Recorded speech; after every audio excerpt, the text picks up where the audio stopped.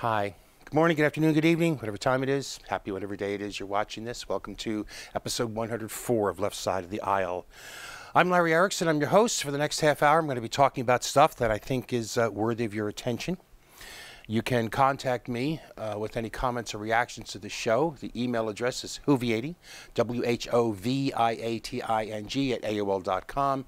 Or you can go to my website, Lotus Surviving a Dark Time. Um, to uh, to get the web address to get the email address rather if you didn't catch it then. I want to tell you right off the top that um, I am going to be talking something about Boston and about the bombings at the marathon, but I'm going to do that later in the show after the break. Um, I'm going to get some some other stuff first, but we will get to that.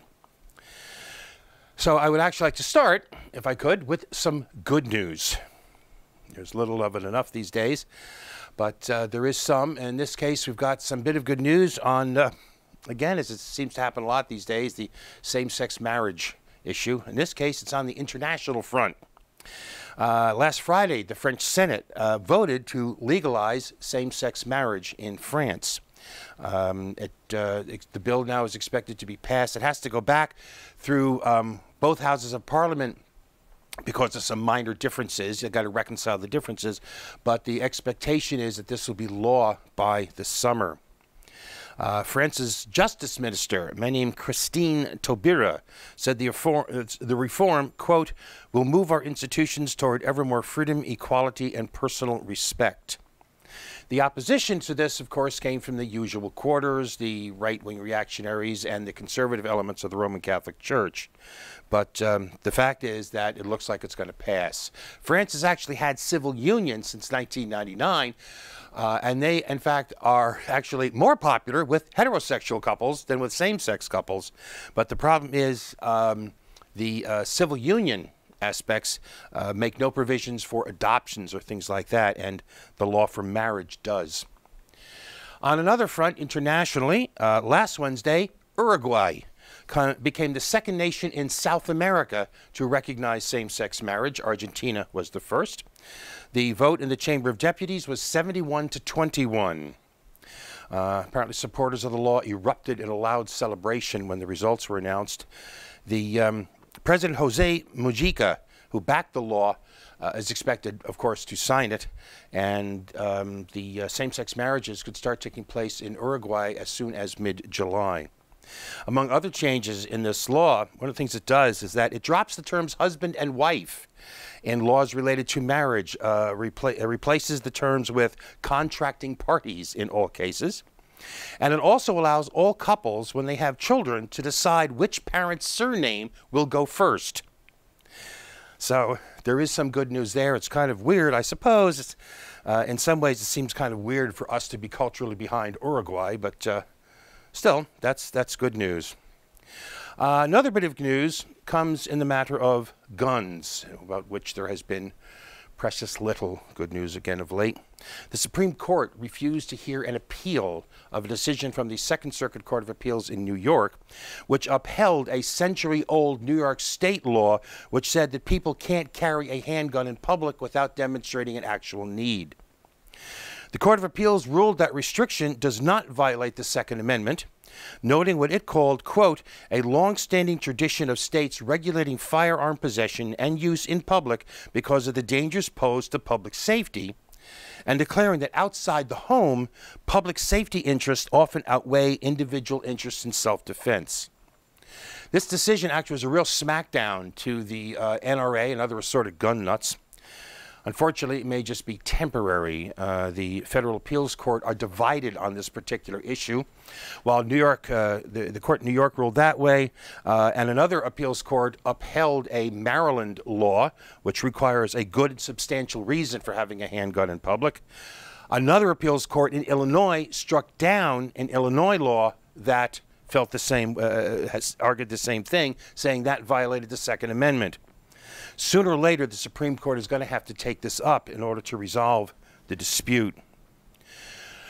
And by the way, just as a footnote to this, in 1981, just three states, Maine, Washington, and Vermont, allowed typical residents to carry a gun in public.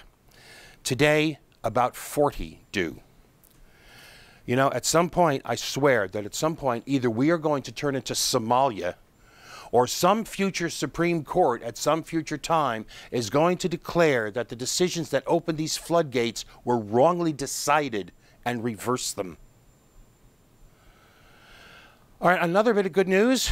Try to keep our spirits up here. Uh, Vermont's House of Representatives has passed a bill to decriminalize marijuana possession for adults. Uh, it passed by a vote of 92 to 49. It now goes to the Senate, where it's expected to be passed by an equally wide margin. And Governor Peter Schmullen, uh, I'm, I'm, sorry, uh, Shumlin rather, uh, has called this uh, making this kind of change a top priority for this legislative session. So he, of course, is expected to sign it. According to a fiscal note that uh, uh, Vermont attaches to bills like this, this change is expected to save the state $400,000 a year. And finally, a bit of technology good news. The White House has issued a veto threat against CISPA, the Cyber Intelligence Sharing and Protection Act. This is a bill that allows for sharing of data, including potentially personal data, between private corporations and the government. The bill died in, Senate, in the Senate last year over privacy concerns, but was dragged from the grave like a zombie this year. Uh, it's got some token improvements, but the basic objections to the bill remain. Uh, it has, a, in fact, a very broad definition of what kind of information can be shared from, from between government agencies and private corporations. In a statement about this, the White House said the administration, quote, remains concerned that the bill does not require private entities to take reasonable steps to remove irrelevant personal information when sending cybersecurity data to the government or other private sector entities, and that citizens have a right to know the corporations will be held accountable and not granted immunity for failing to safeguard personal information adequately. Now, Representative Mike Rogers, who is the bill's chief sponsor in the House, he's dismissed opponents of the law as teenagers living in their basements. Uh, but among the opponents are not only the White House, but the ACLU and other civil liberties groups, uh, Facebook and Microsoft. The bill will actually likely pass the House. So uh, let's hope the amazing Mr. O has a stiffer spine here than he has shown in other cases. All right, from good news, we switch over to our regular weekly feature, the Clown Award, given for acts of meritorious stupidity. And uh, I had a lot of good candidates this week, I really did. For one, we had Representative Joe Smoky Joe Barton, who got the nickname uh, because he's pretty much owned by the petrochemical industry. He said that climate change has nothing to do with people because the biblical flood was, he said, an example of climate change, and that certainly wasn't because mankind had overdeveloped hydrocarbon energy. Apparently, something else that's not overdeveloped is Smoky Joe's grasp of logic. We also have Ken Cuccinelli, he's the Attorney General of the state of Virginia. Last month, a uh, three judge panel of the uh, Fourth Circuit Court of Appeals ruled that the state's ban on sodomy is unconstitutional because of the Supreme Court's 2003 decision in Lawrence v. Texas. Cuccinelli has now filed an appeal with the court asking the entire 15 judge court to rehear the case. That is, he wants them to overturn this ruling in order to allow Virginia to continue to prosecute people for what its laws call crimes against nature. But here's our winner. Our winner of the Big Red Nose this week is one third of the adult population of the United States. According to a new poll by Huffington Post and YouGov, 34% of American adults would favor establishing Christianity as the official state religion of their state. 32% said that they would favor a constitutional amendment making Christianity the official religion of the United States. Now, I will note that in the first case, a plurality of 47% opposed the idea, and in the other, a majority, 52%, rejected it. But that doesn't change the fact that a third, according to this poll, a third of American adults are so ignorant of our own history as to be prepared to jettison not only that history, but 200 years of progress toward inclusion, religious tolerance, and religious freedom, and reprising the mistakes of the past in order to redefine religious freedom as your freedom to believe the same things they do. Just as disturbing, 11% of the people in the survey thought the Constitution allowed states to establish their own state religion. Another 31% weren't sure. Now, whether that's just plain old average everyday ignorance, or if it's the result of the reactionaries pressing their tenther arguments, this is about the claim of state sovereignty under the 10th Amendment to the Constitution, I don't know what it is. But in either event, the sheer level of ignorance is frightening. It's clownish, but it's frightening. From there to our other regular weekly feature, the outrage of the week. In Texas, applicants for TANF, T-A-N-F, that's Temporary Assistance to Needy Families, that's what we used to call welfare. Applicants for TANF can receive an average of a whopping $70 a month per person in the household.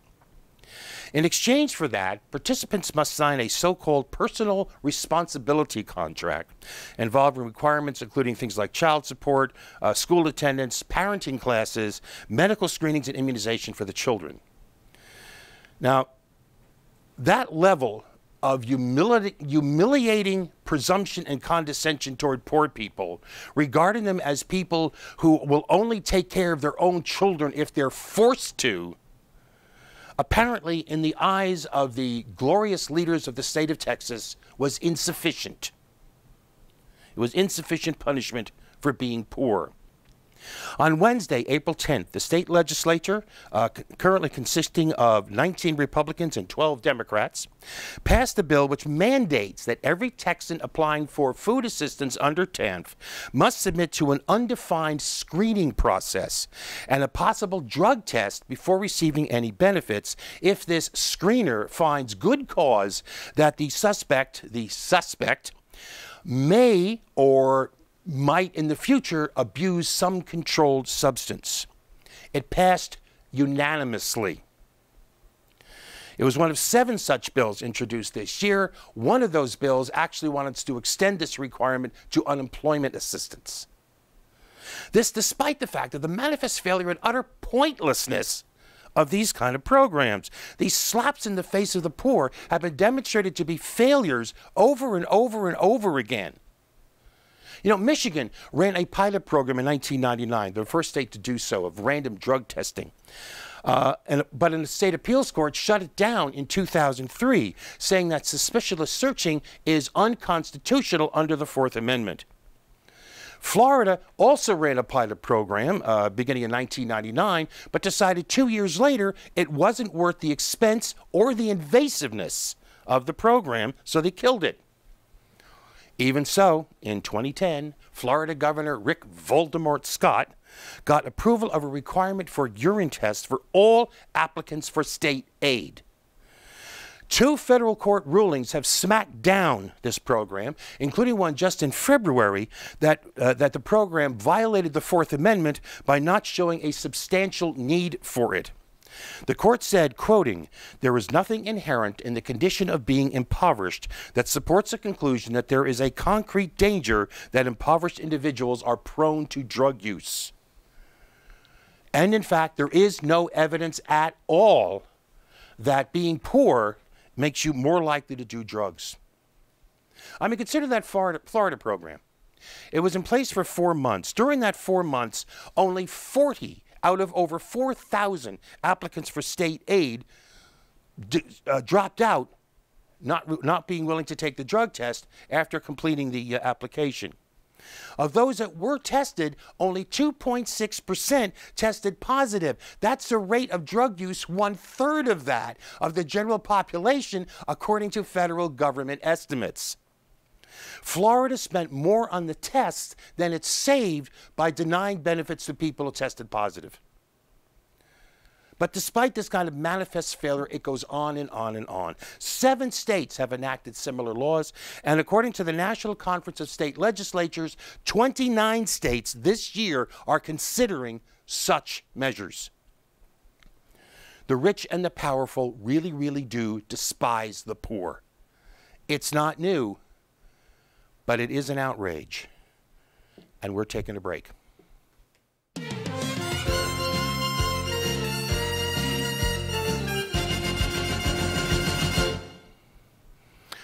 And we're back.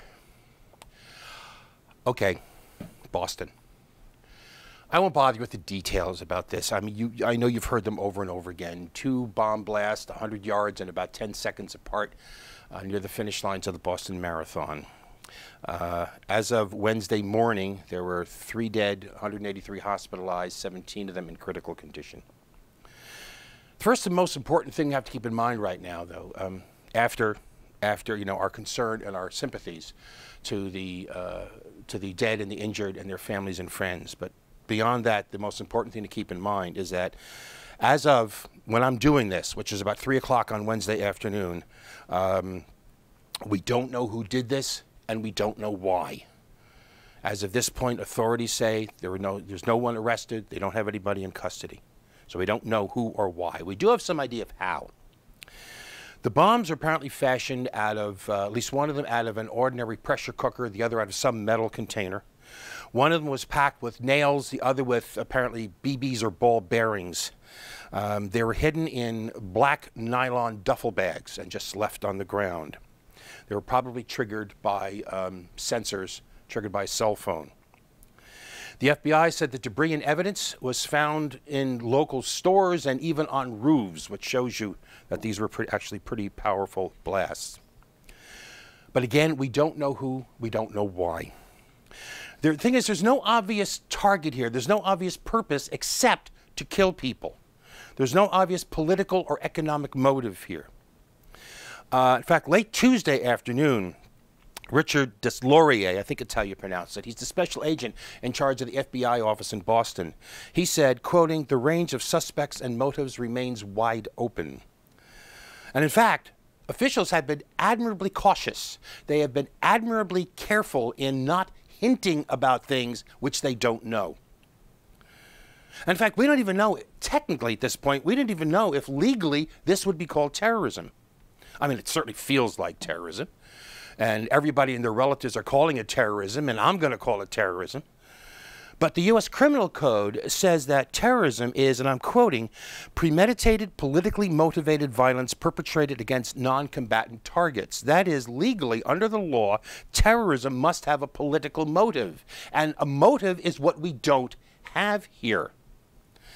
Now, re reasonably, officials say that when there are multiple devices, such as there were here, they treat it as terrorism unless they learn otherwise. But the point right now remains we don't know what the motive is, much less who it was. But of course, that didn't prevent the pundits and politicos from engaging at one, what, what one website accurately called the long-standing American tradition of groundless political speculation. For example, on MSNBC, Chris Matthews suggested a tie-in to the fact that it was April 15th, tax day, uh, suggesting a right-wing anti-government motive. Charles Pierce of Esquire magazine said that nobody knows anything yet, but said that people should consider the possibility of right wing violence. But what should have been no one's surprise, it was the right wing that jumped all over this, with presumptions and prejudices blazing away. For them, it was Muslims, first, last, and always. Rupert Murdoch's scandal sheet, the New York Post, and to show you how old I am, I remember when the New York Post was a reputable newspaper. The New York Post reported falsely that a Saudi national was being held under guard at a Boston hospital. The report was eagerly seconded by Fox News, which is also owned by Murdoch. Uh, they were undeterred by the fact that um, Boston police repeatedly denied that there was anybody in custody, anybody under guard. So the Daily Caller's White House correspondent, a guy named Neil Munro, ran with the Post story, which he illustrated with a montage of the 9 11 hijackers. Meanwhile, anti Islam blogger Pam Geller uh, repeatedly referred to the Boston bombing as jihad.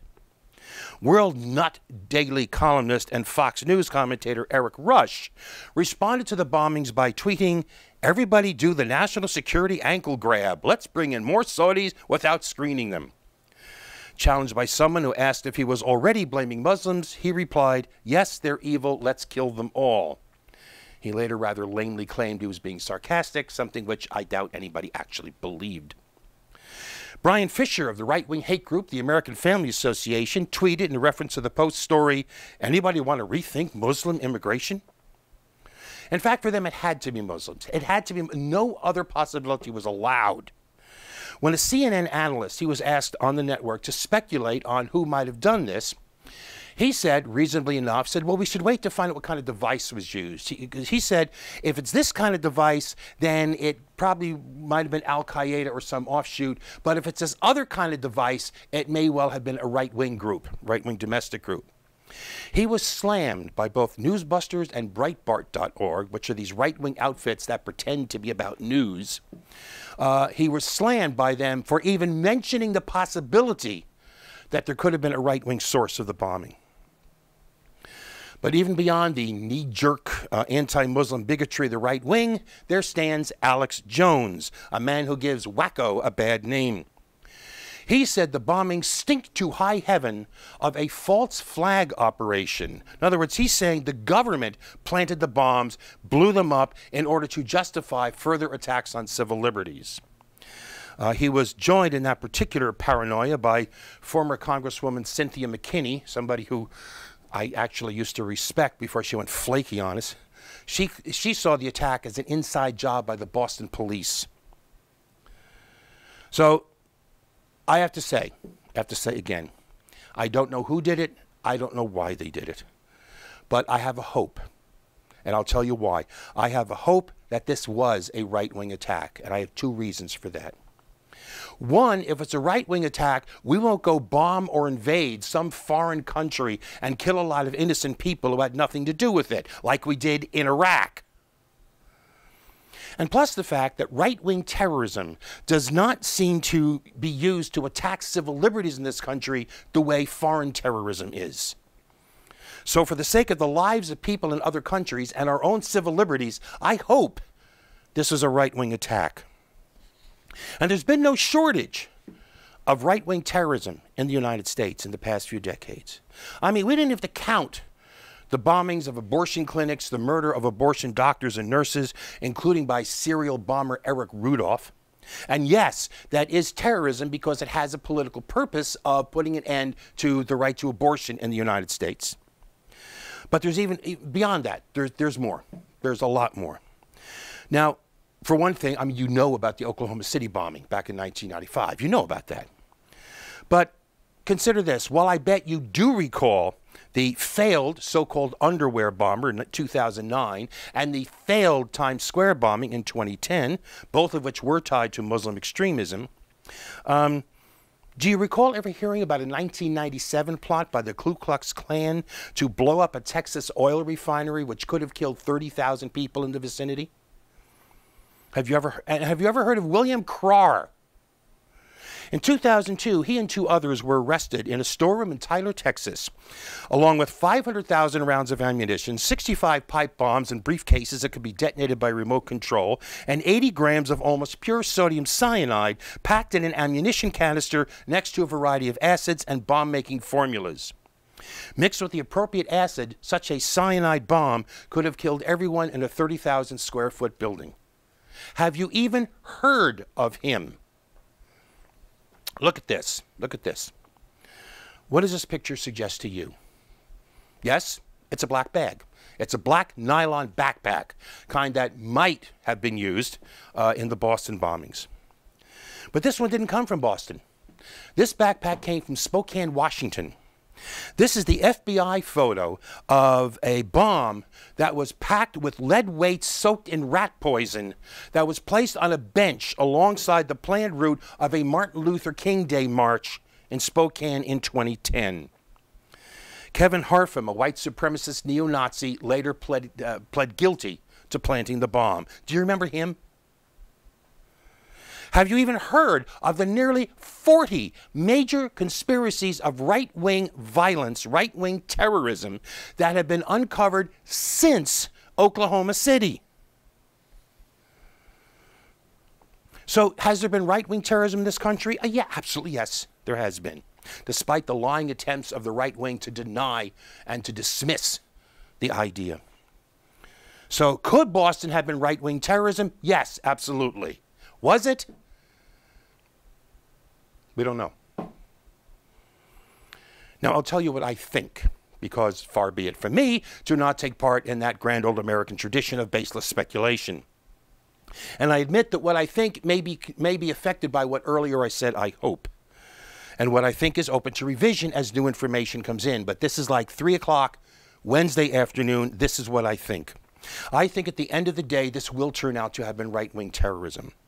The main argument for be foreign terrorism is the kind of bombs used, which have been used in Afghanistan, Iraq, and other places.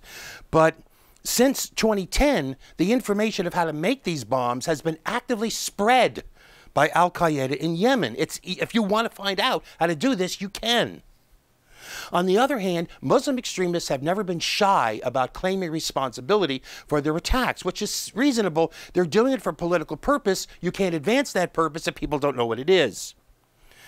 Um, in fact, there have been cases of competing claims of, uh, of responsibilities. Even at least one case, the bombings in Spain back in 2004, when they said that uh, an, Arab, uh, uh, an Arab terrorist group, uh, it was an Arab group, claimed responsibility when it had nothing to do with it. And in fact, the lack of a claim of responsibility in this case might be telling. The Pakistani Taliban, who took responsibility for the failed 2010 bombing in Times Square, has specifically said they have nothing to do with this.